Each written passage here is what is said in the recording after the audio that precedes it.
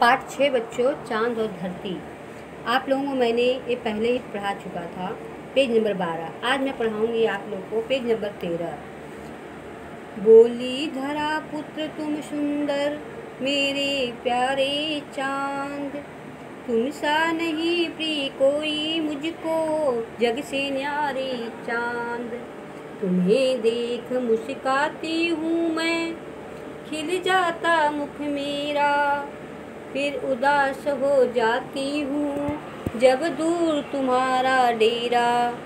दो प्रकार के लिए जगत में निभा रहे हम धर्म दूर रहे या पास दुलारे, सदा करे सत्कर्म। मतलब धरती माँ बोलती है पुत्र तुम जैसा सुंदर कोई नहीं है, मेरे प्यारे चाँद। तुम सा नहीं प्रिय कोई मुझको, तुम से, तुम जैसा और कोई प्रिय नहीं है। जग से न्यारे चाँद तुम जग से न्यारे हो, बहुत प्यारे हो।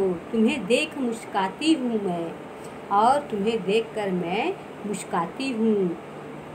खिल जाता मुख मेरा, और तुम्हें देखकर मेरा मुख खुल जा, खिल जाता है। फिर उदास हो जाती हूँ जब जब मैं उदास हो जाती हूँ, जब दूर तुम्हारा डेरा। परोपकार के लिए जगत में, दूसरों के उपकार के लिए जगत में निभा रहे हम धर्म। हमेशा अपना हम धर्म, अपना कर्तव्य निभा रहे हैं। दूर रहे या पास दुलारे, सदा करे सत्कर्म। दूर रहे या पास प्यारे पुत्र, सदा हमेशा सत्कर्म करते रहना चाहिए।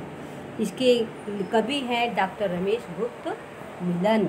आप लोगों को मैं आज